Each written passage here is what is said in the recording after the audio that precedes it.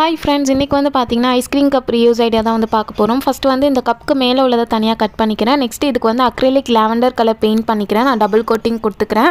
Next வந்து பார்த்தீங்கன்னா ஒரு க்ரீன் கலர் பேப்பர் பேப்பர் எடுத்துகிட்டு இந்த மாதிரி ரெண்டாக மடிச்சிட்டு நான் வந்து நேராக இந்த மாதிரி நீட்ட நீட்டமாக வரிசையாக நான் கட் பண்ணி எடுத்துக்கிறேன். இந்த மாதிரி ஃபுல்லாக கட் பண்ணதுக்கப்புறம் இதை வந்து அப்படியே வந்து மடிச்சிருந்தோம்ல அதை அப்படியே வந்து விரிச்சு விட்டுக்கோங்க. இந்த மாதிரி விரிச்சதுக்கப்புறம் ஆப்போசிட் சைடு அதாவது மடிச்சதுக்கு ஆப்போசிட் சைடு வந்து இந்த மாதிரி ஃபெவிகால் அப்ளை பண்ணிவிட்டு அப்படியே வந்து மடித்து நீங்கள் வந்து அப்படியே வரிசையாக ரோல் பண்ணிக்கோங்க. ரோல் பண்ணிவிட்டு நம்ம ஆல்ரெடி ஒரு கப் ரெடி பண்ணி வச்சோம்ல ஐஸ்கிரீம் கப் அதில் வந்து இதை நம்ம ஃபிட் பண்ணிக்கலாம். க்ளூ அப்ளை பண்ணி ஃபிட் பண்ணிக்கலாம். நான் வந்து நார்மலாகவே வச்சுக்கிறேன்.